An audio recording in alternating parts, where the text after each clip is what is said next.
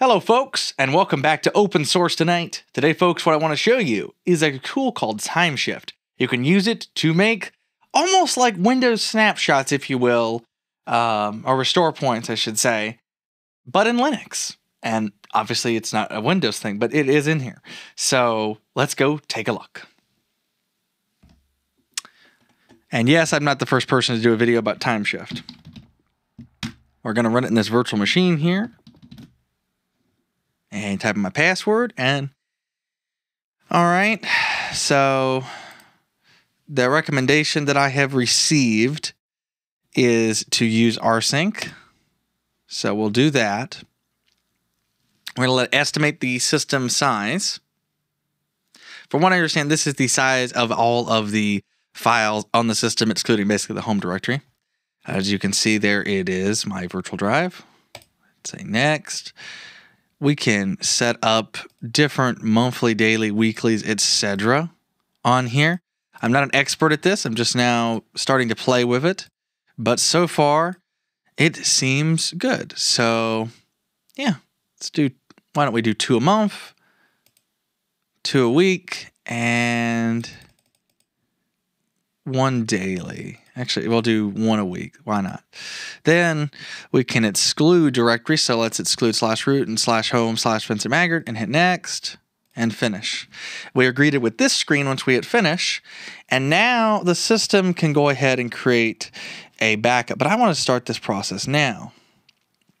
So I'm going to hit the create button. And now it is creating us a snapshot.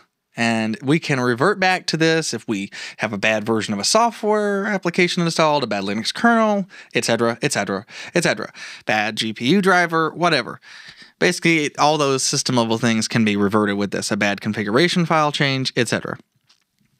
So, I have just started to use this, but a lot of Linux YouTubers I watch use this all the time, and they seem to like it including uh, different people I've talked to that has used Timeshift. They all seem quite happy. So we're going to let it do its backup here, and that will probably take a little bit of time.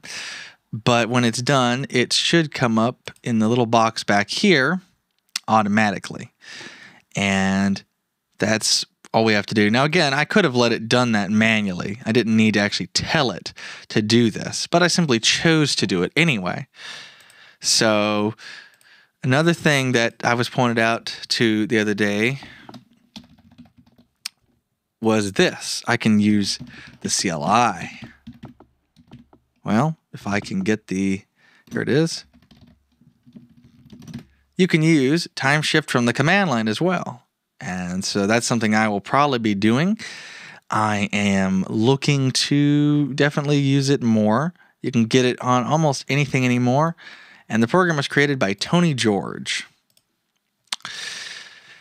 So, folks, we're going to just let this run, but if I minimize this, I don't think I can, I can't edit the settings. So, you know what I'm going to do? I'm going to just cancel the running here because I don't need this. It's a virtual machine. Let's go and look at the settings. So these are stuff that we already looked at pretty much. You can see filters and all that stuff. So that is the idea. We can look at about, we can look at our logs, and you know, to a point, it just it seems simple enough. Here's our log file right here. We can take a look at it. So here it is. This is our log file. Can scroll around and take a look at what it's doing. And there you go.